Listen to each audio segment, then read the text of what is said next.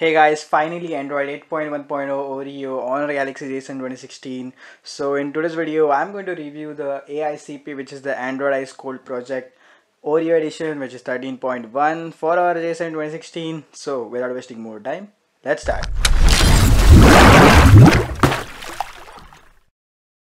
So guys, it comes with a Trebuchet launcher, but I've installed the Pixel launcher. So first let's move into settings, into the system and into about phone and let's take a look at the Android version which is 8.1.0 Oreo here is the AICP Oreo edition. And also we can see the uh, Android security patch is 5 January 2018 and you can see in the Android version we get this Oreo Easter egg and inside we get that uh, same octopus.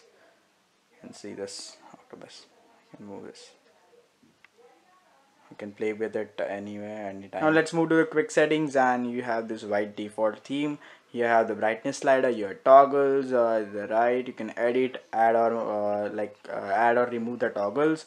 You have the quick settings oh sorry the settings icon your carrier label battery percentage and also the date and also your notification moving here. to the settings UI I love the settings UI of the Oreo which is uh, neatly categorized. You can see here also a short not a lengthy one uh, like the Nougat one. It's neatly organized and categorized you can see also.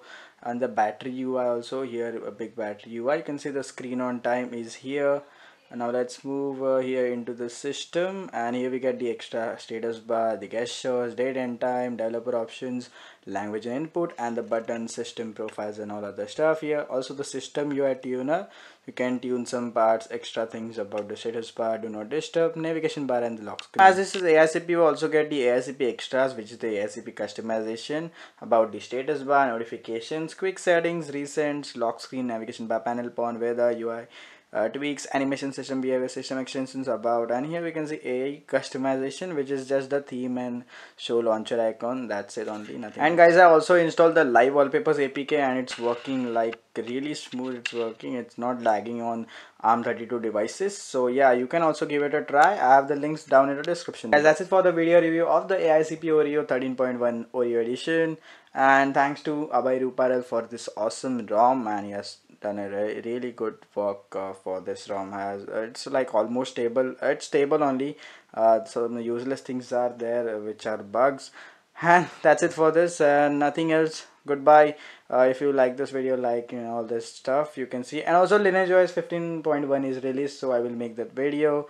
Also it will be out tomorrow or today only night. So bye bye i'll see you guys in the next one